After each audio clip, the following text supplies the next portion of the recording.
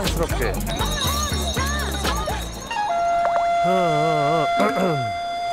아이고. 저희 첫날 오늘 떨어지는 데가 어디예요?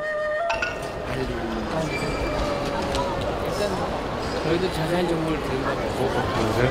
누구한테 물어봐야 되지? 이거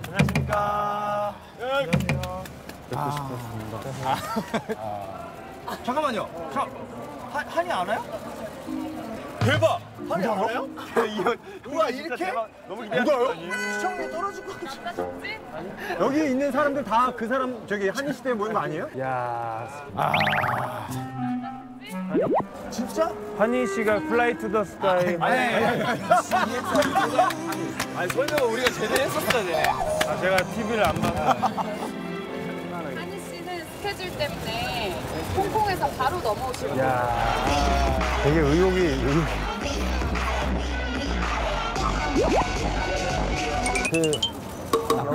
누나 누나네요. 누나요 누나네요. 누나요 누나 누나? 어 누나? 스피커폰으로 하면 안 돼? 진짜? 여보세요? 여보세요?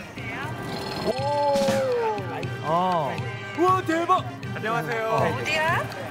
나 지금 공항. 영화 같이 하셨었잖아요. 이거. 아 오늘 그 정글법칙 가는 거야? 아, 지금 거야? 가려고 왔어. 진짜요? 진짜? 어, 동근이, 동근이 형님도 옆에 같이 계셔. 오 얘기 들었어 아 오빠 잘 지내셨어요? 어, 태야 결혼 축하한다.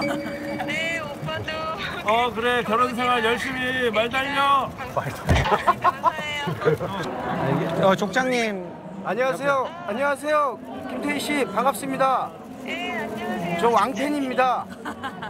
저 아기 잘 낳으시고 나중에 좀 컨디션 좋으실 때 저기 정글의 법칙 부부 특집 할 거거든요. 그때 꼭 한번 오셨으면 좋겠습니다.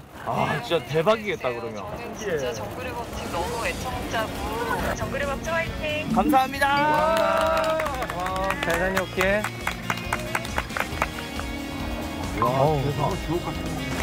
한이 한이